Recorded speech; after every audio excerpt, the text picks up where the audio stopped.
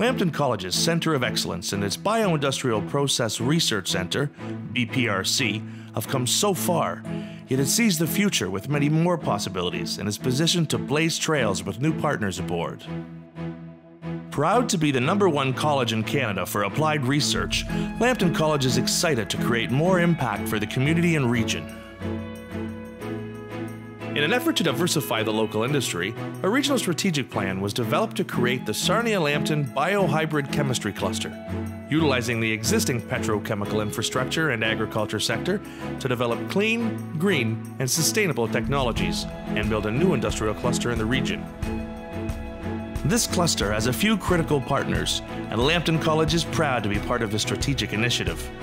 As the only post secondary institution in the region, it provides distinctive academic programs, as well as applied research and development support for incoming bioindustrial companies.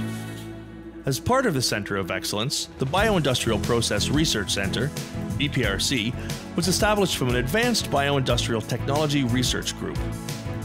Its pilot facilities and state of the art labs for fermentation, analytical, natural health products, material testing, and material processing are located at the college and the neighboring Western Sarnia Lambton Research Park. The BPRC has built more than $5 million in infrastructure. Since 2010, it has supported its partners with many applied research projects, and the results have been remarkable.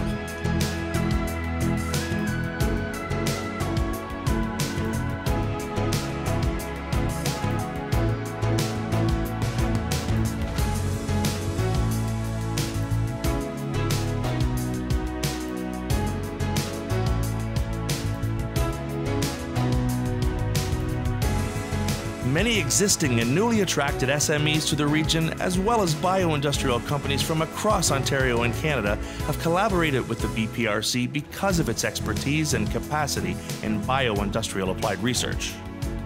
These include Comet, originally from London, Ontario, that is now headquartered in Sarnia and plans to build the world's first commercial cellulosic glucose sugar plant using corn stalks and wheat straw. Forward Water Technologies and Origin Materials, who have moved their operations to the Western Sarnia Lambton Research Park for scale up, construction, technology development, and operation.